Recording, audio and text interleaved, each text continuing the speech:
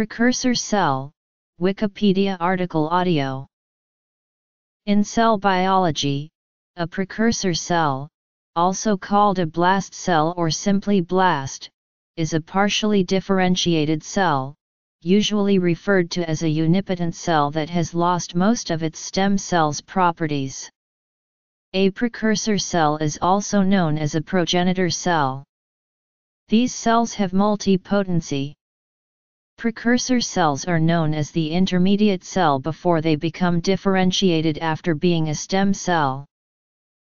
Usually a precursor cell is a stem cell which has the capacity to differentiate into only one cell types.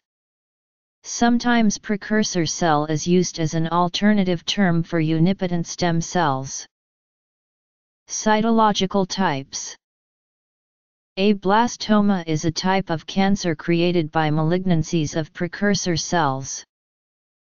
In embryology, precursor cells are a group of cells that differentiate later into one organ.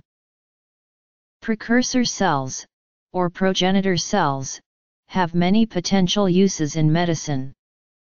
There is research being done to use these cells to build heart valves, blood vessels, and other tissues, by using blood and muscle precursor, or progenitor cells.